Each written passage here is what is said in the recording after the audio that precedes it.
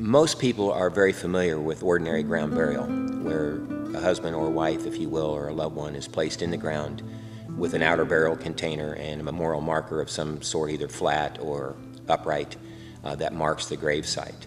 Uh, our company is known for their beautiful above ground entombment opportunities in beautifully uh, designed mausoleums that really incorporate the landscape and, and uh, utilize everything that the land will allow us to use.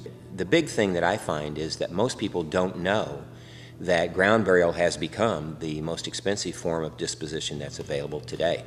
And the main reason for that is supply and demand. There's virtually a, a finite amount of ground that is left and so, to extend the life of the cemeteries, we must make adjustments, if you will. People are very shocked to learn today that their loved one can reside in a beautiful multi million dollar uh, climate controlled above ground tomb for less money than they would spend if they put that same loved one in the ground.